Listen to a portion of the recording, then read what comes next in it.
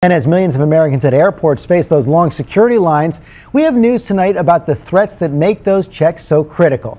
Four men from Southern California are under arrest, charged with plotting to join Al Qaeda and kill Americans. ABC senior justice correspondent Pierre Thomas covers Homeland Security for us. Good evening, Pierre.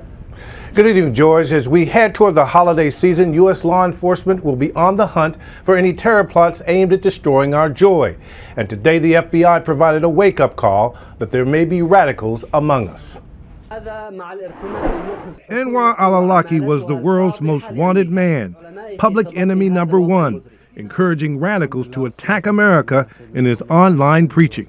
The U.S. killed him in a drone strike in September 2011, but today we learn Awlaki is still helping to recruit terrorists from the grave. Overnight, the FBI announced charges against four California men accused of plotting to go to Afghanistan to bomb and kill U.S. soldiers. They were disciples of Awlaki.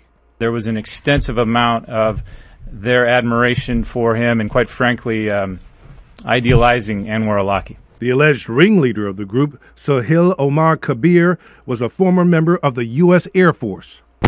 The FBI claims the alleged terror cell had conducted training, including going to shooting ranges, and had even bought tickets to travel to Afghanistan through Mexico. This was a valid violent extremist network.